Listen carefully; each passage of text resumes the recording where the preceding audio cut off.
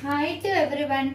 Today we will discuss about the cluster computing. Cluster computing means a cluster computing system is a consists of set of processors of same and similar type of processor machines is known as the cluster computing. A cluster computing is a cluster computing is consist of same and similar same and similar same and similar type of processor machines connected to the network. Processor machines connected to the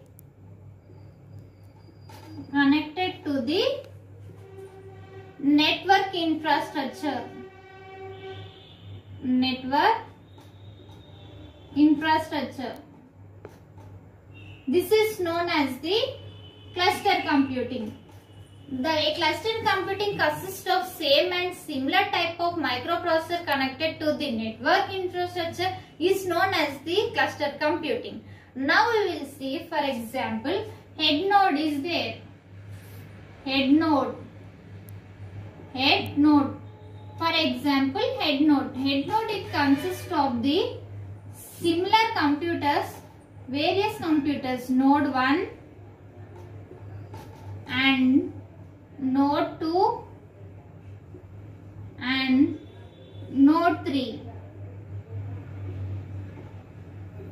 in cluster computing different computers is known as the, the nodes we will call as nodes.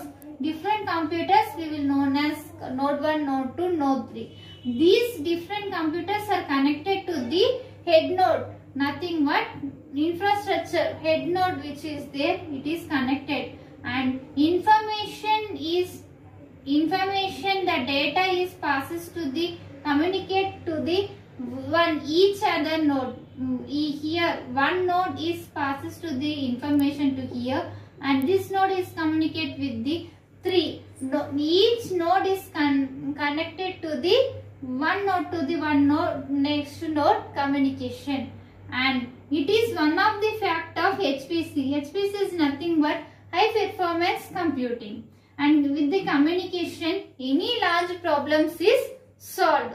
This is the process of cluster computing. Now we will see types of cluster computing. Types of cluster